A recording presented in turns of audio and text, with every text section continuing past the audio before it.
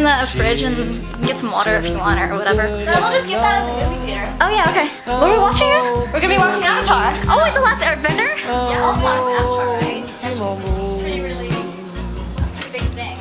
Avatar-ish. Because it's like the best cartoon out there. Yeah, I know, right? Well, like, I feel like it's a total geek whenever we watch Avatar. Like, for those airbending martial arts, think how awesome. Helpful. Many things to do.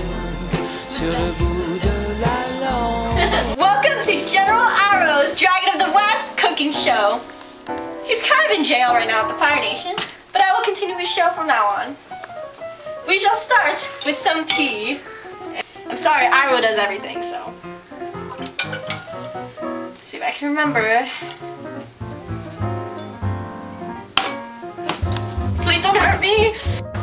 I do not know how to do this, but I've seen uh, General Iroh do this, so let me see if I can try this.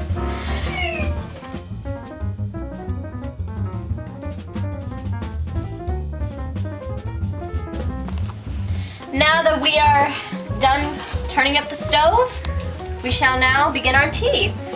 Carefully place the water on top of your stove. Ooh, ah, I see your lovely Fire Nation crockery. Oh, I know. You match. Red, red. Together they make orange. Now let's see. We shall start with the Dragon of the West formulas. You didn't see that. This is gonna be cut out, right, director? right. Yes, Good. ma'am. Okay. And we will put this in gracefully. Very, very gracefully. Only the best Fire Nation tea for our Fire Nation audience. Ooh, ah. Let the water simmer for a bit. Um, make sure the tea boils correctly. Stir it around every once in a while, and your tea shall be perfect. Thank you for tuning in to the General Iroh's cooking show.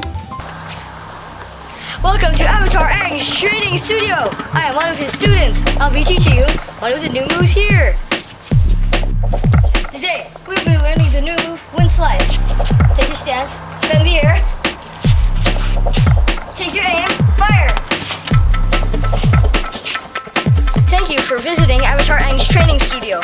Once again, I'm not Avatar Aang. I'm one of his students. Thank you. Came from the north and south poles of the globe, we, being prisoners in the Fire Nation, have gone through tremendous amounts of slavery, being which we had to water the Fire Lord's extensive gardens. Now, all of, of us waterbenders have acquired a great liking for foliage and watering grass. So you will see how convenient being a gardener is when you are also a waterbender.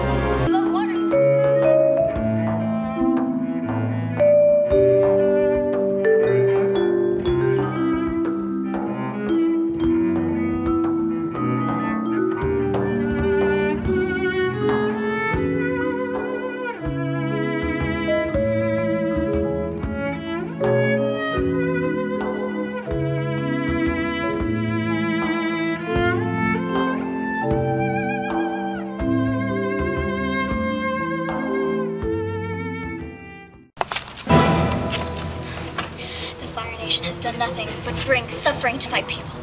They enslave our warriors, and they make us water their lawns. I can't stand this. She's over there. The Fire Nation princess. This is my chance at redemption for my tribe. Ah! Ah! Oh, hello. Would you like some tea? I hate you, you